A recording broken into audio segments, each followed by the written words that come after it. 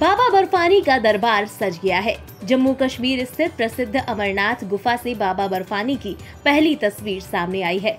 गुफा में प्राकृतिक रूप से बर्फ़ का शिवलिंग बनकर तैयार हो गया है।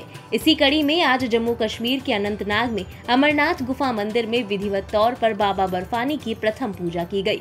जहाँ एक तरफ़ अमरनाथ गुफा मंदिर में पूजन चल रहा था, वहीं दूसरी तरफ़ जम्मू कश्मीर के उपराज्यपाल मनोज सिन्हा अपने कार्यालय में पूजन की सभी विधि सम्पन्न कर रहे थे। उन्होंने वर्चुअली बाबा अमरनाथ की प्रथम पूजा में हिस्सा लिया। आज शुभ मुहूर्त में बाबा अमरनाथ जी की प्रथम पूजा संपन्न हुई। 29 जून से देश भर के श्रद्धालुओं के लिए बाबा अमरनाथ के दर्शन खुल जाएँगे। श्राइन बोर्ड ने और जम्मू कश्मीर प्रशासन ने देश भर से आने वाले श्रद्धालुओं के लिए अच्छे इंतज़ाम किए हैं।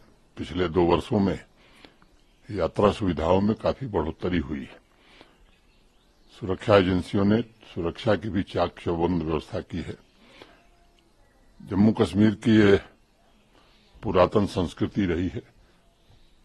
जम्मू कश्मीर के सभी धर्मों के लोग इस यात्रा में बढ़ चढ़ करके हिस्सा लेते रहे, सहयोग करते रहे। मैं फिर जम्मू कश्मीर के निवासियों से, विशेष रूप से, जिधर से यात्रा गुजरती है, इस क्षेत्र के रहने वाले नागरिकों, वादी के नागरिकों से आग्रह करूँगा कि आप ने पुरातन काल से इस यात्रा को अपनी यात्रा मान करके इसमें पूरा सहयोग किया है। देश भर से आने वाले श्रद्धालुओं का ख्याल रखा है। मुझे विश्वास है इस साल भी उस परंपरा को लोग कायम रखेंगे और जम्मू कश्मीर की एक अच्छी छवि पूरे देश और दुनिया में बने इसमें सब लोग सहयोग करेंगे। तो अगर यात्रा रूट की बात करें तो अभी यात्रा रूट ठीक है सर यात्रा के लिए? हाँ, पहले की तुलना में अब यात्रा रूट काफ़ी चौड़ा कर दिया गया है। आप सब लोगों को ध्यान होगा कि पिछले साल उसकी चौड़ाई बढ़ाई गई थी। कुछ स्टेज थे जहाँ वो नहीं बढ़ सकी थी बीआरओ ने इस बार उसे भी बढ़ा दिया है।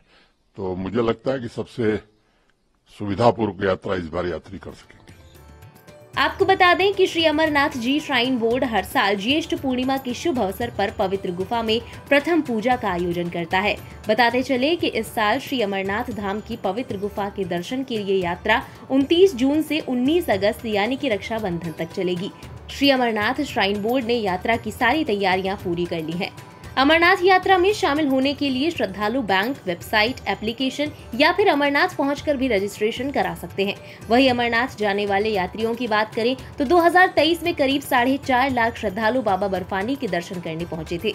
मौसम के मुताबिक इस बार 2024 में देर से बर्फबारी शुरू हुई, जो अभी तक जारी है। श्री अमरनाथ श्राइन बोर्ड ने 2024 में छह लाख श्रद्धालुओं के लिए विशेष व्यवस्था की है। ब्यूरो रिपोर्ट, इंडिया पब्लिक खबर। इसी के साथ इस खबर में अभी के लिए बस इतना ही। देश और दुनिया की तमाम बड़ी और लेटेस्ट अपडेट्स के लिए बने रहे इंडिया पब्लिक खबर के साथ। हमारे यूट्यूब चैनल को सब्सक्राइब करें और बेल आइकन दबाना बिल्कुल न भूलें।